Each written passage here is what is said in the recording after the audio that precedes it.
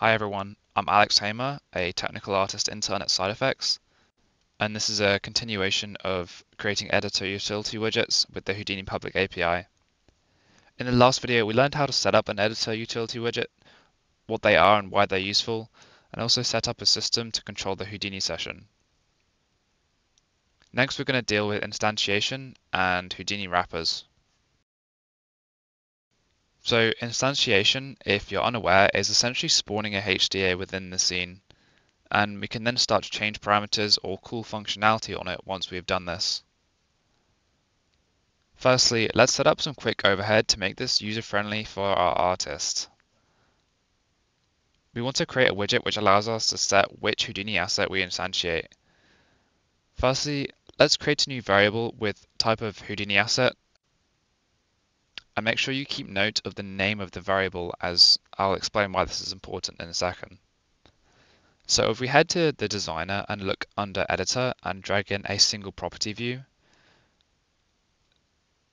single property view is a widget which displays nearly all types of variables and I'll get into which variables aren't supported and how to work around this in a little bit.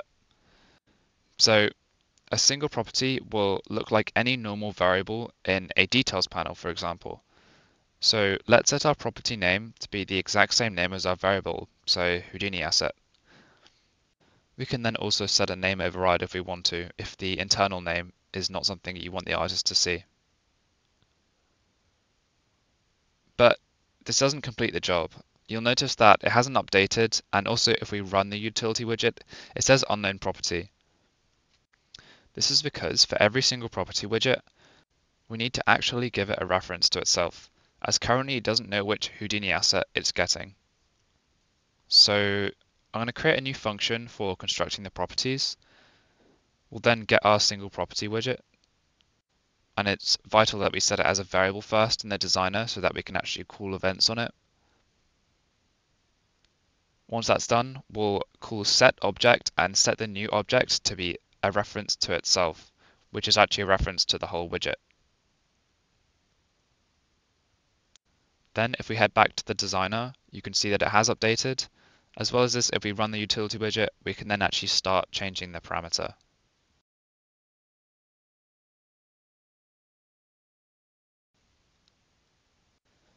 So it's very important to note that editor utility widgets are not fully ready for production. There are some things that you should be aware of. This is of course that there are bugs occasionally and sometimes things might not work like you expect them to, so I would Advised to save often. Also, single property view is a fairly broken widget. If you try to set it to display a rotator variable and then compile, your engine will instantly crash. If you happen to save before you press compile, you will save your widget in this broken state, meaning that anytime you click on it, your engine will crash, or even sometimes if you enter the folder that this widget is in, then your engine will crash you will have essentially locked yourself out of your widget and potentially your project and will lose all your progress. So please be careful with rotators and just use a vector instead. Keep in mind that this may now have been fixed, but as of the time of the recording, this is still an issue. So now we have a display option where we can set which Houdini asset we'll actually instantiate I'm going to do the same for a location and an auto cook toggle in case we don't want the HDA to cook as soon as we instantiate.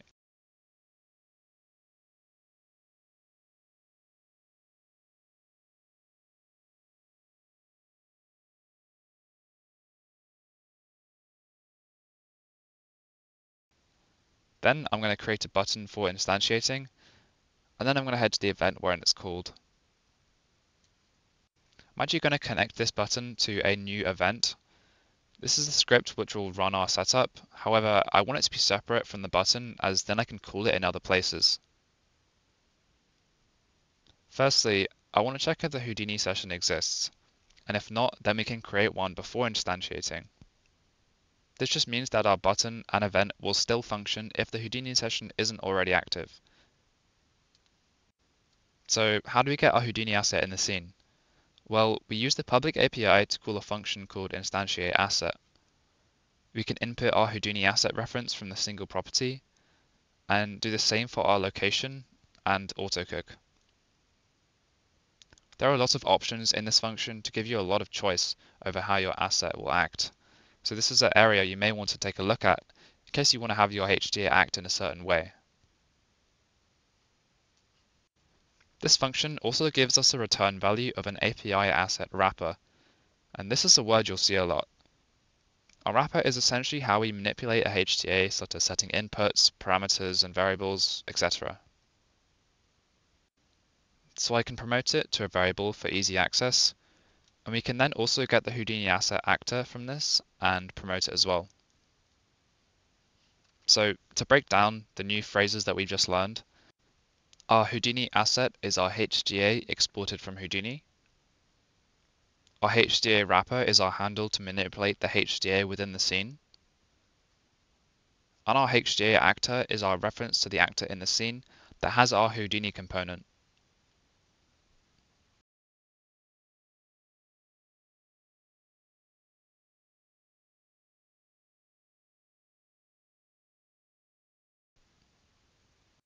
After this, we can also bind many events to our wrapper. So if we pull up a list by dragging out from the wrapper and searching for bind, we can see that we have many delegates to choose from. Some of these we can use to activate an event every time we change a parameter, and others are more specific to tasks such as baking meshes or using a topnet. We can also use them to set up initial inputs and parameters we want to have. In the next video, we'll cover how to set up inputs using these events.